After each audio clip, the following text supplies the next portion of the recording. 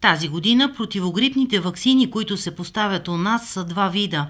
Те ще пазят от четири щама, които според прогнозите на Световната здравна организация ще се разпространяват през този зимен сезон.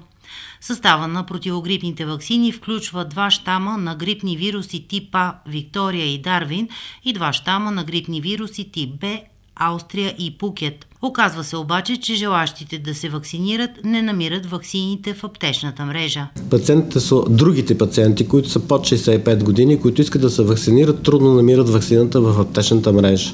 Това не, не знам какъв е каква е причината, но имаше пациенти, които са под 65 години, искаха да се вакцинират и трудно намираха вакцините, дори невъзможно. Не, една от, част, от тях се отказаха да се вакцинират. Липсват в аптеките? Липсват в аптеките, да.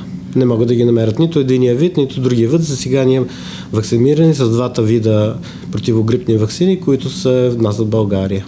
За хората над 65 години противогрипните вакцини са налични и са безплатни. Ние получихме безплатни вакцини за над 65 години почти около 90% вече ги служихме на всичките наши пациенти, които под, под, подлежаха на това нещо. Личните лекари очакват хората по-често да започнат да боледуват заради рязкото застудяване на времето. Хората ще почнат да боледуват по-често.